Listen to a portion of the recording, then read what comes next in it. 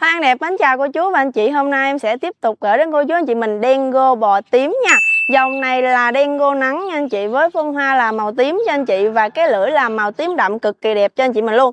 Cánh lại là cánh sáng nè, Và trong những cái cánh này nó có những cái sọc gân nha anh chị, Chứ không phải là full nguyên màu tím cho anh chị mình.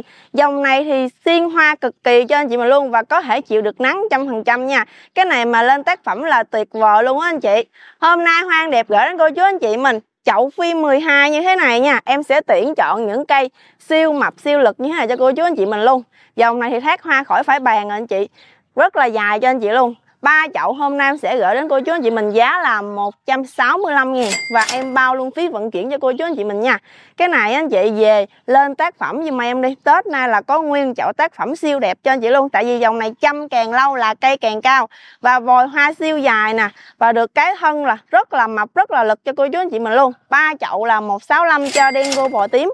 Anh chị nào chốt bò tím mình để lại phần bình luận phía bên dưới số điện thoại giúp em nha.